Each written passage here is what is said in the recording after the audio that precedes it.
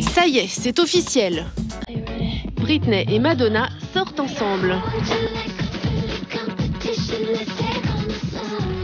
Mais si, regardez, les deux chanteuses roucoulent en duo sur le single de Britney. Et dans le clip, elles nous font même visiter leur nouveau nid d'amour. Apparemment, les coquines sont pressées de s'installer. Normal, ça fait déjà quelques temps que ces deux-là se tournent autour.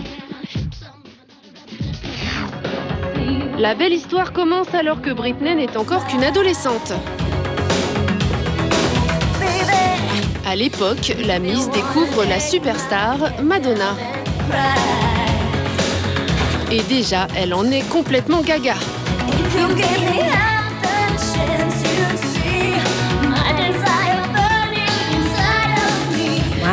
Depuis toute petite, c'était l'artiste que je respectais le plus. Je connaissais toutes ses chansons par cœur. C'était un excellent modèle. Si je devais marcher sur les traces de quelqu'un, ce seraient les siennes. Du coup, lorsque l'ado se lance à son tour dans le showbiz, elle fait tout pareil que la Madone. Comme son idole, ici à droite, Britney fuit les paparazzis. Dans ses clips, elle utilise une chaise, comme elle. Elle porte elle aussi une combinaison en vinyle. Enfin, comme Madonna, Britney s'essaye au cinéma. Et comme elle, elle se plante. Un tel mimétisme, c'est plus de l'amour, c'est de la rage. Cette relation fusionnelle finit d'ailleurs par éveiller les soupçons des plus fins analystes. Un jour, j'ai vu Britney Spears et j'ai dit Ah, d'accord, c'est la nouvelle Madonna. Tu vois ce que je veux dire? Je vois très bien, Demis, et tu es sur la bonne voie. En fait, Britney ne souhaite pas remplacer Madonna, elle veut la séduire. Car la jeune fille fantasme justement sur les femmes qui en ont.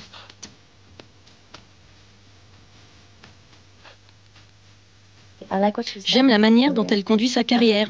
C'est une femme d'affaires redoutable et une artiste incroyable.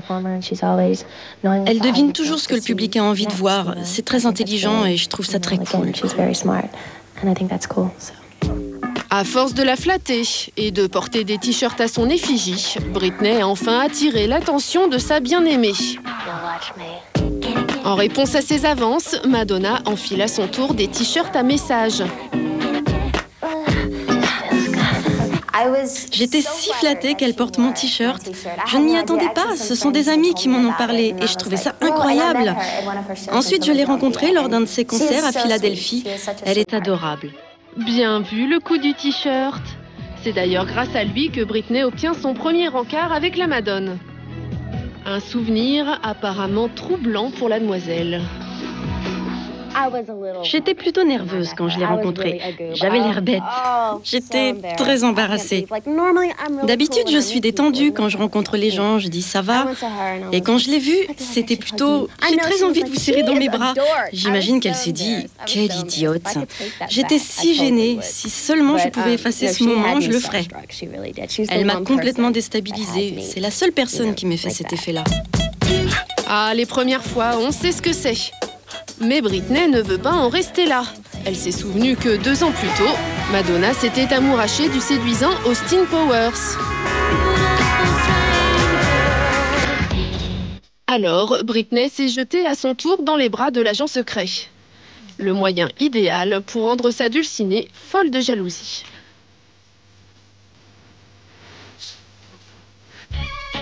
Et ça marche Madonna craque et déclare finalement sa flamme à Britney. Elle lui offre un pendentif en diamant d'une valeur de 15 000 dollars. Si c'est pas de l'amour, ça. Et ça n'est pas tout. Dans la foulée, les deux amantes officialisent leur union. Le mariage est célébré en grande pompe devant des millions de téléspectateurs. Pour Britney, pas de doute, c'était le plus beau jour de sa vie. J'étais honorée, flattée et très contente de pouvoir faire ça avec elle parce que je l'admire. Je la trouve super. J'étais vraiment flattée. Bon, ça y est, Britney a enfin conquis sa Madonna. Maintenant, il va falloir qu'elle la garde, parce qu'entre Christina Aguilera et Kylie Minogue, la concurrence est plutôt rude. À croire que la Madone est subitement attirée par les petites jeunes. Je pense que Madonna est maline en um, montrant qu'elle peut se mêler à la um, nouvelle génération. Ça lui apporte un nouveau public, plus jeune évidemment. Quoi? Britney ne serait en fait pour Madonna qu'un vulgaire faire-valoir À moins que la jeunette y trouve aussi son compte. Britney a tiré d'énormes bénéfices de ce baiser. Tout le monde la voyait comme une petite gamine et elle a embrassé Madonna. Finalement, notre belle histoire n'était peut-être qu'un gros coup de pub. Et l'amour dans tout ça?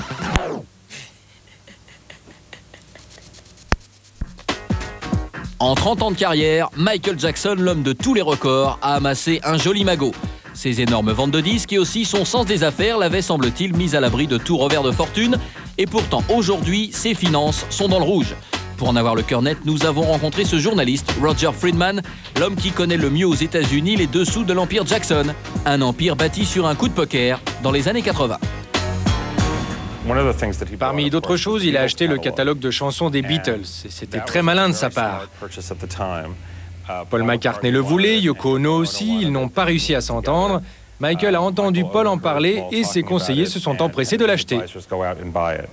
Ça a été sa bouée de sauvetage depuis, car au fur et à mesure que ses finances ont décliné, il a utilisé le catalogue Beatles en garantie pour couvrir ses pertes. Le problème, c'est que depuis, il a dépensé plus qu'il n'a gagné.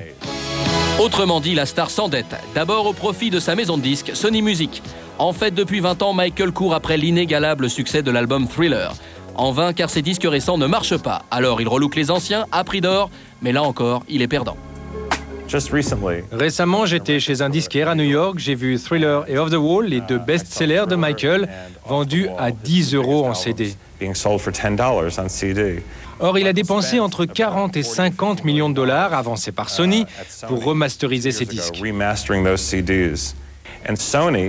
Et Sony est ravi de lui prêter cet argent. L'édition s'allonge et il resserre un peu plus leur étau à chaque fois. Pris dans ce piège fatal, Michael réagit maladroitement. C'est devenu complètement insensé. Imaginez Michael Jackson qui se met à affronter Sony Music en accusant son patron, Tommy Motola, d'être Satan, le diable. Tommy Motola, président de la division musique de Sony, est un être mauvais, raciste et très, très, très diabolique. Il y avait beaucoup d'émotions dans tout ça en fait, car il s'est aperçu que ça ne marchait pas. Ça ne marchait pas. Tout ce qui était tenté échouait.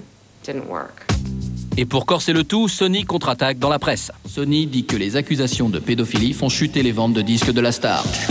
Michael devrait aujourd'hui à Sony plus de 200 millions de dollars. Il a engagé en garantie sa principale source de revenus, son fameux catalogue de chansons, 400 000 au total, dont les siennes et celles des Beatles. Menacé, la star en veut à l'industrie tout entière. Récemment, Bambi attaquait en justice Universal Music, cette fois pour toucher des impayés de l'époque Jackson 5. Encore un très mauvais calcul. Ce qu'il faut bien comprendre, c'est que ces avocats ont lancé cette idée. Ils ont dit à Michael, soit on gagne, soit on perd. Mais eux, quoi qu'il arrive, ils seront payés de 500 à 700 dollars de l'heure. Ça va lui coûter une fortune, donc c'est surtout un bon deal pour eux, les avocats. Car au final, Michael ne touchera sûrement rien. Au-delà des avocats, c'est tout un empire que Michael doit faire vivre. Mais aujourd'hui, c'est au-dessus de ses moyens. Après sa maison de disques, c'est son propre train de vie qui sape ses finances. Uh, J'ai en ma possession une liste exhaustive de ses dépenses sur un mois. C'est impensable. Oh, Il lui faut 20 millions de dollars pour faire tourner la boutique, uh, pour payer Neverland, payer tous les médecins, payer son personnel, payer la pension de Debbie Rowe, la mère de deux de ses enfants. Uh, C'est démentiel. Et que dire des dépenses personnelles de Michael, de ces jours où il fait ses courses de manière totalement inconsciente Il y a deux ans, il est entré chez un bijoutier de Beverly Hills et une montre lui a plu. C'était une montre en diamant d'une valeur de 2 millions de dollars. Il l'a prise en disant Je vous paierai plus tard. Il n'a jamais payé, ils lui ont fait un procès. Les procès, troisième source d'endettement pour Michael. Il est impliqué dans des dizaines d'affaires judiciaires, le plus souvent à cause de sa conception des affaires. Exemple récent, un promoteur de concert lui propose de venir chanter en Allemagne. Michael dit OK et n'ira jamais. Attaqué en justice, il devra verser 7 millions de dollars aux plaignants. Si Michael pense qu'il y a de l'argent à se faire, il n'en parle pas à ses avocats ou ses conseillers, il signe. Plus tard, il dit ⁇ Je ne me souviens pas avoir signé ça !⁇ Et ils doivent le sortir du pétrin. Ça n'en finit jamais.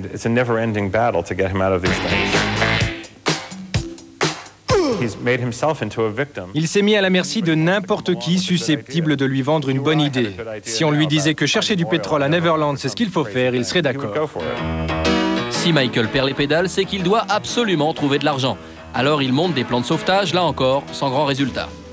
Le mois dernier, il ouvrait les portes de sa propriété Neverland, prix du billet 5000 dollars. Le but étant bien sûr d'attirer le maximum de stars. Elles ne sont pas venues. Et il y a des signes encore plus inquiétants.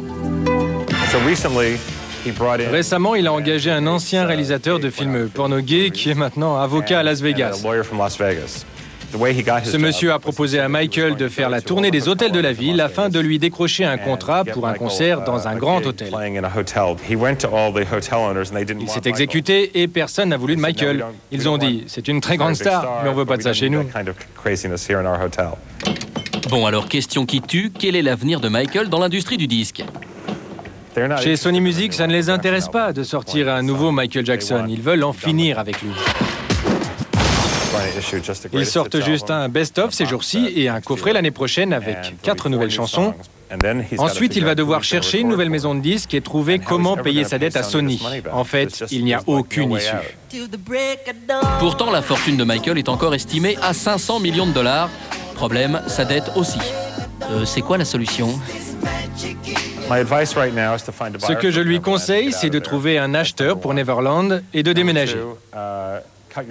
Ensuite, réduire son personnel. Il emploie actuellement 120 personnes, il doit en garder le minimum. Enfin, partir en Floride et mener une vie plus normale. Oui, en Floride, car là-bas, une loi empêche vos créanciers de prendre votre maison. Michael était justement en plein déménagement au moment où la justice américaine l'a rattrapé. Plus vite que... Je vais te mettre la raclée du siècle. Tu rêves, pétasse. Je vais te régler ton... Tu n'as pas changé.